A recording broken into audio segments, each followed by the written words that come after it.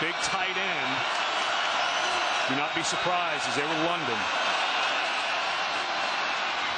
And this one's picked, a poor throw by Montana, and Corey Trim has it. Corey Trim